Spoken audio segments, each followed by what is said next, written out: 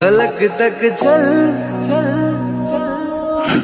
ये बादल की चादर, ये तारों के आंचल में छुप जाए पल दो पल।